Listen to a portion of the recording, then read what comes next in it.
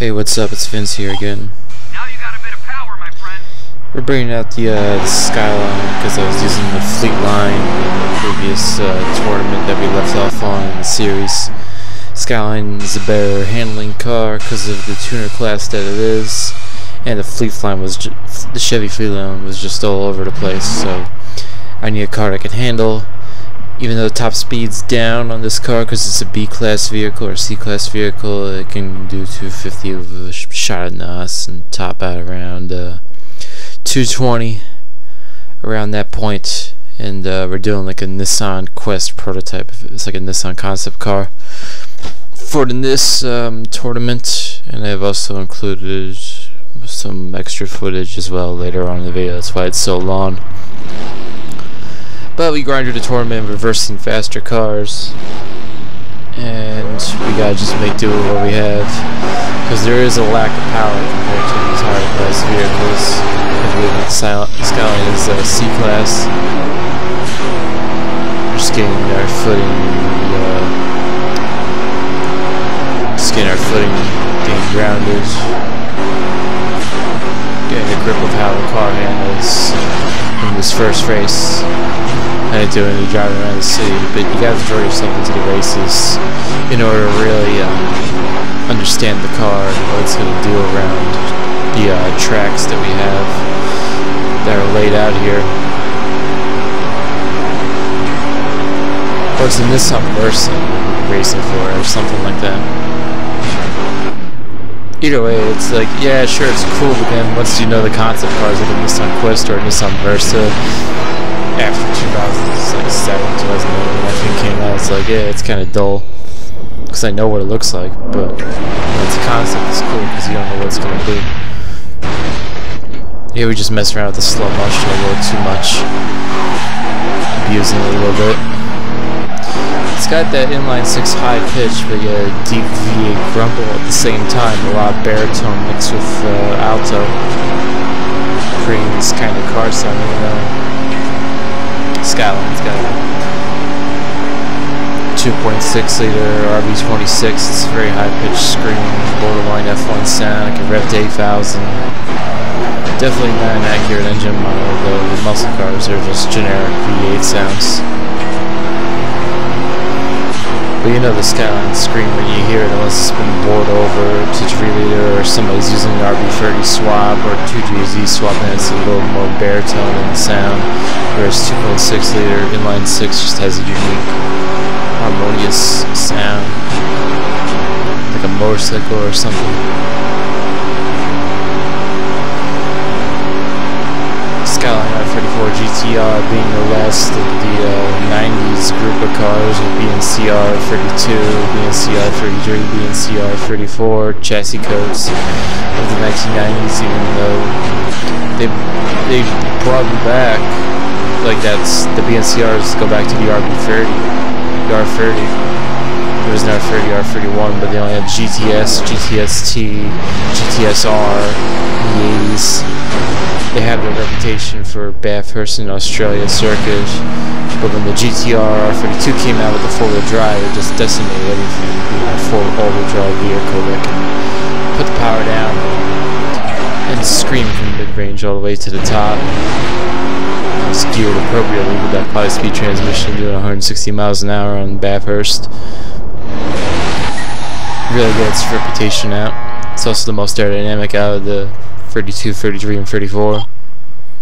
34 is kind of a brick, but it's also the movie car. It's the kind of the thing that holds up its prop as being in a bunch of movies, media, stuff like that.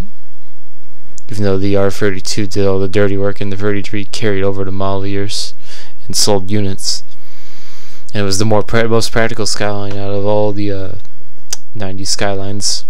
33 having you can really sit four people in there. This is the longest wheelbase, probably the most stable at high speed. All of them do like 170 miles an hour, and they never do 200. The gear to do 200, 220 miles an hour. With the uh, the ratios that they got in drive.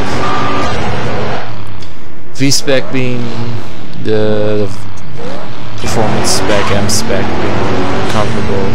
There's even Nürburgring spec ones for the R34 that are soft suspension designed to go around the track.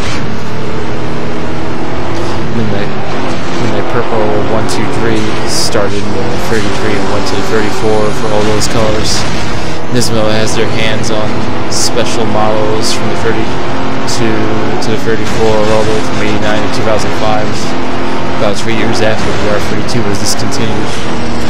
I'm sorry, the R34 was discontinued in 2002, but they made the Z2 two, 10 units until 2005. Nismo sold the one in the museum that they had for a substantial amount of money.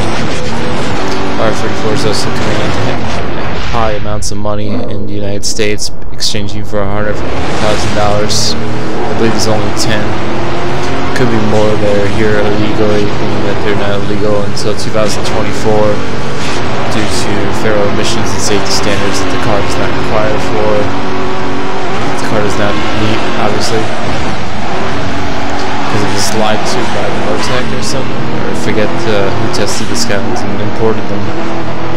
But they were a great market importer in California, and they passed off the 32 as a 33, 34. And when the U.S. government got wind of it, they uh, shut them down. I forget the name off the top of my head.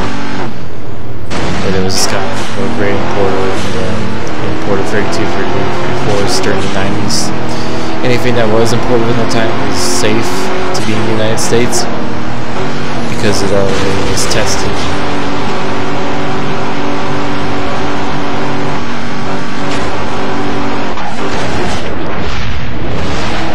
You can legally have these cars for show and display purposes if it's registered to be used for show and display purposes.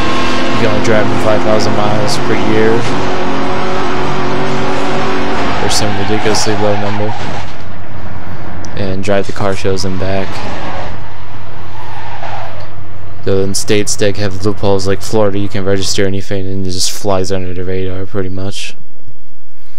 It's one of those street fiends that you gotta know about. Even though there's written rules and stuff, Florida's been a gateway. People import them still. If they know a friend or know people in Japan, they can import them.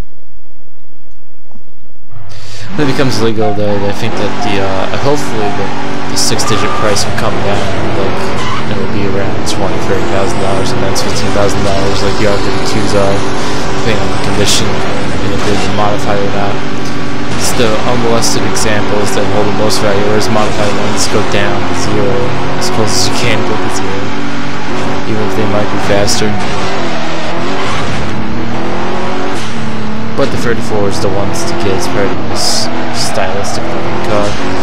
Whereas the uh, 32 is still holding on to the 80s. The 33 is kind of kind of a stepchild. Uh, it's between the 33 and the 34 for me. Obviously the 34 is the one everybody wants, but the 33 still holds merit. And it'll be illegal in the United States soon for importation. People are just waiting to pull the trigger on those. It also overshadows a lot of other cars like the JDM Supras that exist, Evos, uh, RX-7s that were JDM spec only, Subaru 22Bs, Impreza STIs, the UK Subaru Imprezas, UK Evos, used for Rally uh, racing like the Tommi Makinen version, Subaru 22B, Subaru, Subaru ProDrive P1s. They hold their merit as well. Toyota M2s were still made for years after they were discontinued from the United States.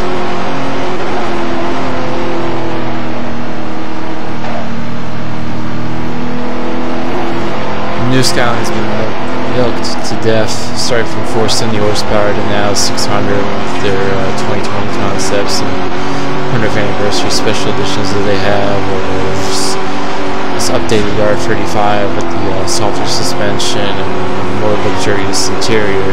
It's kind of defeating the purpose of what it's trying to compete with the Corvette or base 911. That's what I thought the GTR was all about. But I don't know, things inflate over the past 10 years that the car's been out since 2007. It hasn't really changed you're saying it's going to be a hybrid, yeah, that's going to be another NSX. Mean, yeah, the NSX is an appealing car from a technological standpoint with the new hybrid uh, NSX, but it's just it's just dull, kind of mundane. Doesn't really just looks like a car that fits the role of what it is and kind of rides off the Ford GT a little bit because the Ford GT came out a little bit earlier with the flying buttress design and the SX kind of imitating that.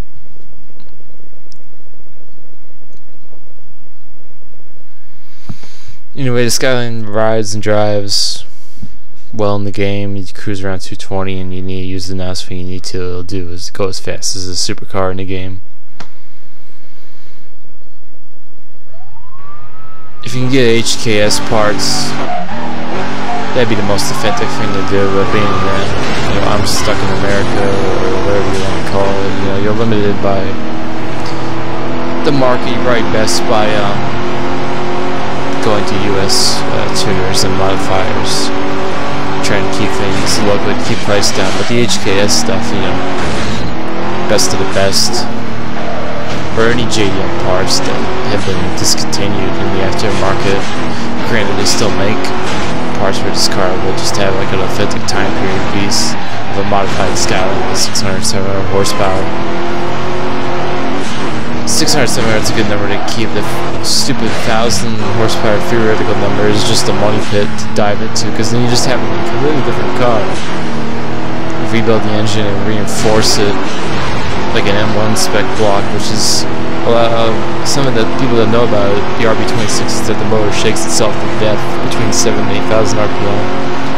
So you need some reinforcements in the block, some gusseting or something like that It's just a stronger block the N1 spec, like more webbing. Plus the iron materials are stronger in N1 spec blocks compared to regular GTRs. You even finding an N1 spec block, you know, you're just rolling the dice trying to find an original one.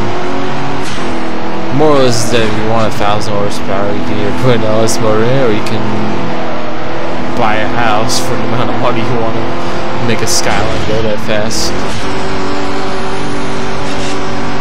The reality is 300, 400, maybe 500 horsepower is the most feasible out of the, uh, the engine that comes with, and the 2JZ's more is a wider market, bigger aftermarket, bigger power potential even than the most I've seen out of an RB26 was 1200. Supras are chucking out, or 2JZs are chucking out 2000. One thing I also like to see in Skylines is the LS motors shoehorned in them because it gives it like a American Japanese hybrid vibe, you know, American firepower with the Japanese style. And the note fits the car pretty well with the styling that it has with the body kit and the aggressive aero. Nissan know their tuners, man. Look at this. Going to be real big in the tuner scene, the sport concept. Enjoy!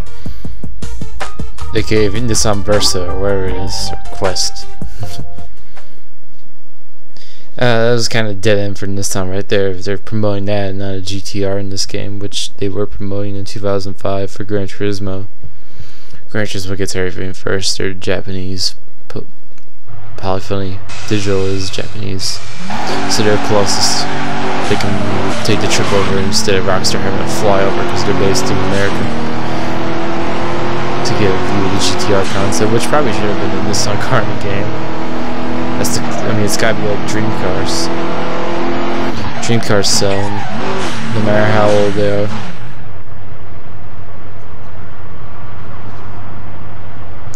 Now here we're going to do more independent races from now on for the rest of the video. We got um, this car, and I think I switched cars later in the video. I'm not going to reveal until then so, but um, this is a good bulk of the game is just picking random races, and it reaches to a point where um, you're, you're just doing them just to knock down the percentage of the Tokyo Challenge. As you can see now that I switched to a regular race, I'm now outclassed by supercars, which is kind of weird. The game just all of a sudden goes into die hard mode or try hard mode or whatever because you go further along with the Tokyo Challenge then it becomes a challenge you gotta whip out the supercars. Taking a classic Tokyo shortcut right there. Never used that in Midnight Club 2, but we just used it there.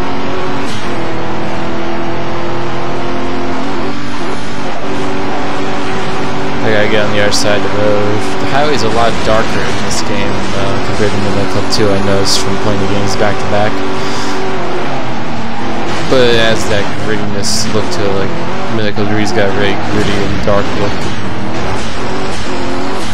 Very rap music video type deal looking. It's very dark, very flashy at the same time. Whereas Midnight Club 2 just rolls with the aesthetic and the limitations of what they had at the time.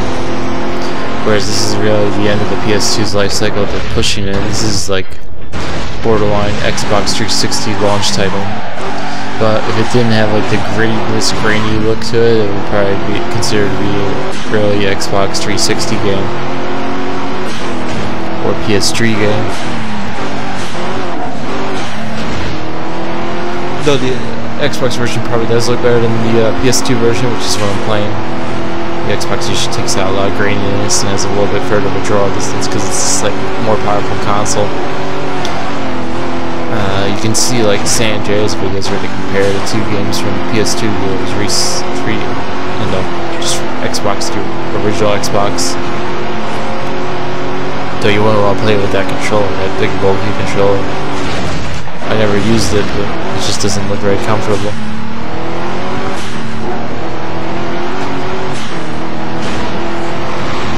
you see it's just getting slaughtered by the AI just doing 250 miles an hour and there ain't nothing much I could do about it.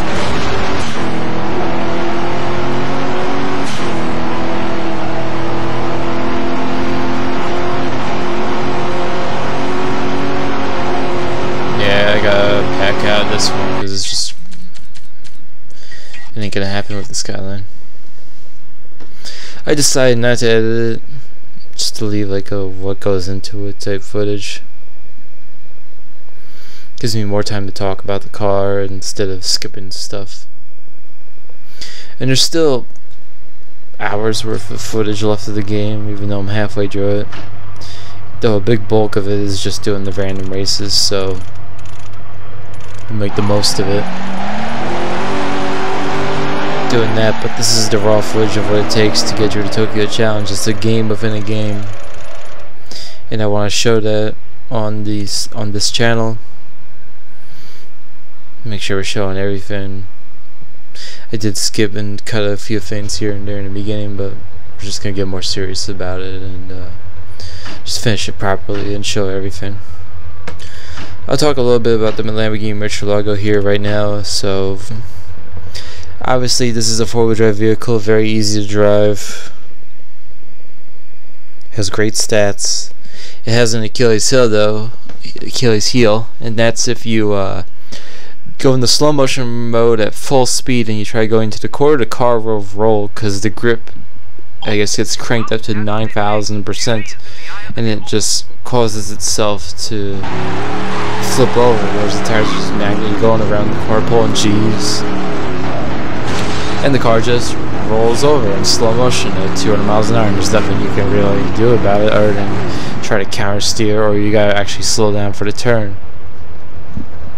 So the big advantage is that there's no slipping and sliding there's literally no wheel spin it's a very straightforward car however when exiting slides you lose a lot of time because it seems like you gotta fish for a gear to get back into and this correlates with all-wheel drive cars being tricky to launch, tricky to put the power down, tricky to shift gears in uh, in real life. So I guess that's what they were going for, or it's just how how it is. But the Murcielago is a childhood car, the 2000s. If you know what it is, people may think it's sedate because it's owned by Audi.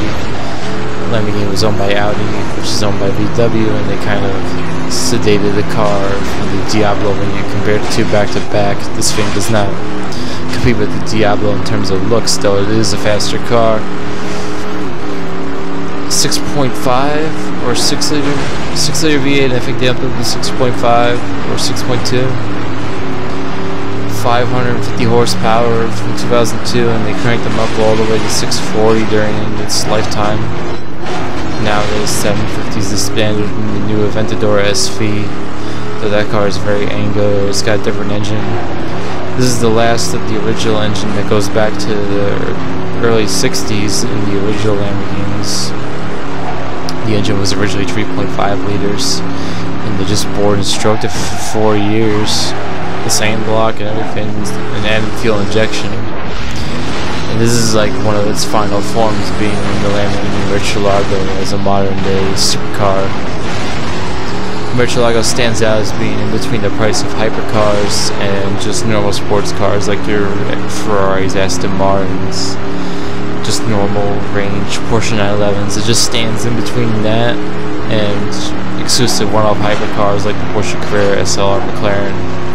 This could compete with those cars, but it's obviously a more mass-produced vehicle. It doesn't have that special appeal and they made them for a very long time even though they didn't make many of them it just doesn't it just feels like the generic big Lambo that fits for the, the 2000s saying that I can't afford a Lambo but when you when you look at the market and, and where the car fits within the automobile hierarchies of sports cars or hypercars it just stands in the top 75% it's not the, the pinnacle or the 100% like a car like the Bugatti Veyron Koenigsegg, something that's really just all out aggressive, would uh, sit, and it's just not.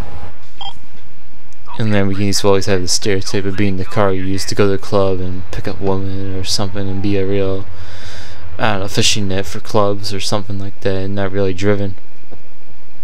The car can go fast around the track, but I don't think it's going to be as enjoyable as a real drive car like a Ferrari 360 or 430. And I remember from watching reviews that if you exceed the limit, the thing's going to oversteer and just spin out. Which is weird.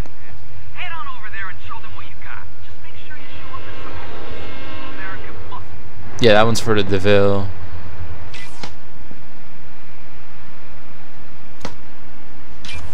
I mean, it was used for five seconds in Batman. Um, the Dark Knight for like five seconds because it was crashed into. And that was a 640. This one's just a regular Murcielago, I believe, before they started coming out with like the 610, the 640 and the SV and stuff like that, or the five. The, I think it was like five, the 550, then 570, then they jumped to 610, then they went to 640. In terms of horsepower, that's how they just lay it out. LPs really started with this car and the Gallardo from modern day Lamborghinis. There was never any LP 550 or Dash 4, all these code names stuff that's very Germanic. You got Lamborghini Diablo, it's quintessentially Italian. It's just the Lamborghini Diablo and then VT or SV or whatever special model. There's no numbers involved like these German cars do, which make it very null. You want a name on a car, not a not a code or some computer arithmetic on it. It's not what cars are about. Though the Murcielago name will still stand out as being in rad videos, though the Aventador is the car now of the decade. Being that this is 2019 and we're probably coming towards the end of the Aventador production cycle, being that they dropped the SV now. So it's now to see what the 2020 uh, Lambo is. It'll probably probably have 100 more horsepower, maybe starting at 800. I'd like to see the next Lamborghini just go out and just say standard Lamborghini, big Lambo, big V12 Lambo is going to have a thousand horsepower standard. Because that's the norm these days is just 1000 horsepower vehicles whereas back in the late 90s early 2000s it was only 450 500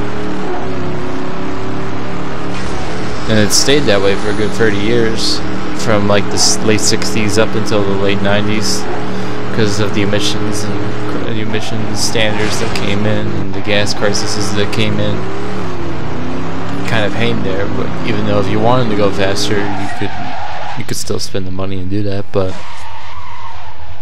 what in factory production cars, it just wasn't happening.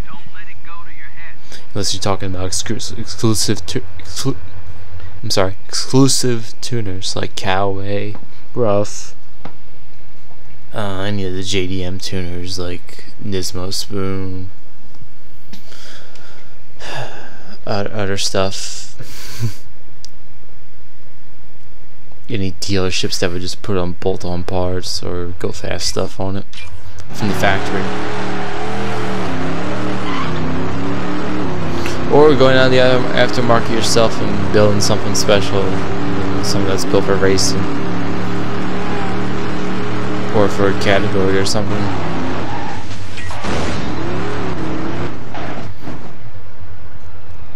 I like how the V12 roar on the Lamborghini is different than most V12 cars. It's more of a roar and a symphony rather than a scream. Compared to smaller V12 cars, the, Lam the Lamborghini's always gonna have that big V10 uh, roar. Yeah, V12 roar.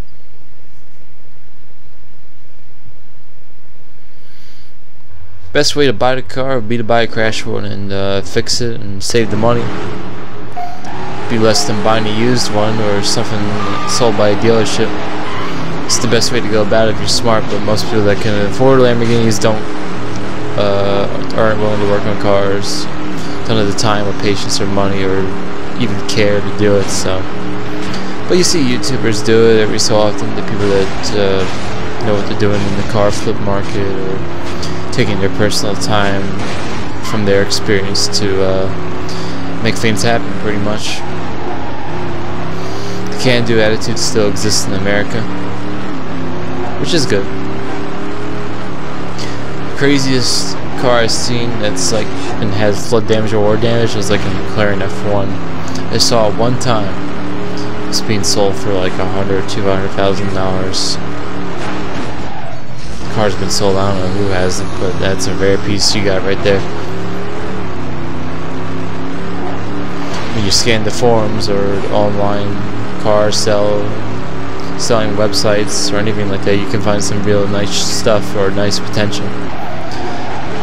It's always the hard part of doing it. That's uh, what holds a lot of people back. They start things, don't finish them, the only thing you finish is your work, and that kind of eats up a lot of time. It makes you want to do your things in your own time, which is really the point of life. It's just a matter of getting there. If you've been there or not, or understand what I'm talking about. And there's the full example of like taking the car too fast and the car rolls. That was a full 90 degree turn I went in way too hot for, for what the car can handle the Saleen S7 wasn't doing that, and there's obviously better options in the, uh, the garage. From what I have to choose, whether it be a 911 or a, or Jimbalo, I'm sorry, or the McLaren F1 or Mercedes SLR or even the Pagani Zonda that's featured in this, we'll get to that car later and talk about it for a bit, but um, that's going to have its own video when I get around to it. But first we'll finish the series, or maybe I'll create the video, whichever comes first to mind. Right now we're doing the commentary for this. And you see I took a beating damage, and this race was... Uh, getting hit myself, but this race was a pain. I had to do it multiple times, but I featured it anyway, because you could see the issue with the Lambo just keeps flipping over. It's like an inherent problem. Yeah, it's the best car in the game. You're winning the Detroit race, but what you can buy.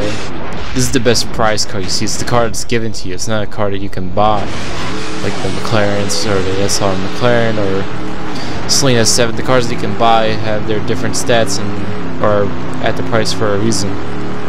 They handle better. They're not a handout. So this car is a bit of a deception in this game. Everybody likes to think that Lambo's fast. But is it really fast? There's just more technical cars out there than just this artistic form of stuffing a V12 into a car and doing this crazy bodywork and calling it a car even though I know there's a lot of engineering and stuff with like modern day standards that it has to meet and crash tests and safety stuff, but in a nutshell, it just uh, criticizing a Murcielago, and I don't know what else to say. I'm just into the more technical cars. Lamborghini just seems like a go-to car for someone who just who just got rich. Even though there's like old saints that would say the opposite for those who've been rich have Lambos, whereas the is just an upstart. I think I think they're both the same. They go hand in hand. I think that people that don't know about cars or don't look into them enough just buy Lambos because it's just the first thing that comes to mind from society. This is one of the default metallic uh, or color shift colors. It's like a yellow. It's like a gold and a, a light blue mixed together to create this color. And I thought it went very well. This is one of the few cars that I messed up or so I'm speaking riced out. Not only riced out, like maybe one or two cars. I like solid colors a lot more, and that's what this game allowed you to do. Whereas Underground, Underground 2 forced you to rice it out in order to get points or something, or get look points or something. And nowadays it just looks disgusting, like you want to vomit or something.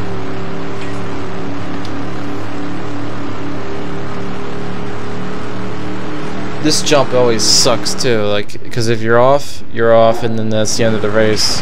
I just went through the map and no clipped. But you have to lift the throttle or brake in a car that's fast in order to do it. So there's a lesson for you. The cars are too fast for the track. And I think that cars were never meant to go this fast on a Midnight Club 2 map. Because the most you'd usually do is like between 180 and 220, whereas in this game you're doing 230, 250 at your finest hour. On a straight like that, on that straight where I crashed and lost, I was doing the full extra 20 miles an hour, and I think that that has a big impact on uh, me losing the race because this is obviously a Midnight Club 2 map and you have to let off whereas the cars in this game go a little faster. Granted you can do 250 in Midnight Club 2 in the fastest cars but at that point you're just deliberately trying to fly off the map.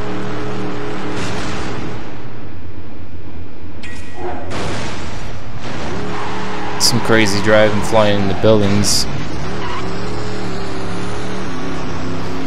Funny thing is too is that the AI will follow suit because they're trying to keep up with you or rubber band in some way, shape, or form.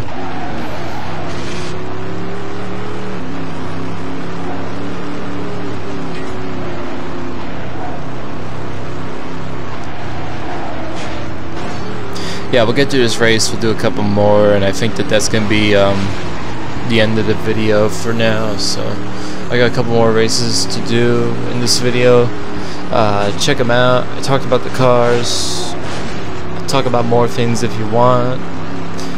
Uh, views of the series dictate on how many vi uh, videos I put out for it. Though I'm at the halfway point, I'll eventually finish this. I will probably start a new series related to another game or have some other type of form of video coming soon. It's just a matter of um, clearing up stuff and having the time to do it. Making time to do it's always important. Like how I'm making the time to do this right now and I'm tired. A little bit tired, not 100%. I'd say like 50%. Kind of like a daisy. Like I'm awake but I'm dozed off a bit. Just talking about or ridiculing Lamborghini Murcielagos. I don't know. I don't. I don't find the car as attractive as the Diablo. I just don't. The Diablo's got more oomph to it. Even though it's a rounded out car, this is more angular. The Diablo's got that Italian flair. Especially the early 90, 90s to 95s. 1990 and 1995 with the wheels that it had and the little splitter and the, and the crazy colors like black or like a audacious orange, green, or red, or yellow. Some crazy power color. Like the early 90s Diablos even with the pop-up headlights that's just that's just Italian though in all reality I'd be a little more sedate and get like the late 90s Diablo like the 98s 98 to 2002 People have ridiculed the 300ZX headlights, but it makes the car look more streamlined. And the wheels help out too, they put bigger rims on them. And they are also the most powerful ones, so it's kind of a win-win. That's the thing of Lamborghini as well, is that usually the last models are the best models of, a, of whatever model they make, like the Miura, the JV models that have uh, like borderline race cars, the Countach LP5000s with the wide bodies, those are the best ones of the Countach, Diablo SVs, uh, Diablo GTRs, Murcielago SVs, Murcielago GTR race car, even though that was kind of a one-off deal. LP640, 610s. Earlier ones are always cheaper. Got your LP570 or the Valentino Balboni edition. The top models right now the Aventador SV or Aventador J. Aventador J stands out. But yeah, enjoy the rest of the video. I'm gonna upload this and it'll probably take a million years, but we'll get it up on there probably the next day or something like that but this video's done. We'll see you in the next one.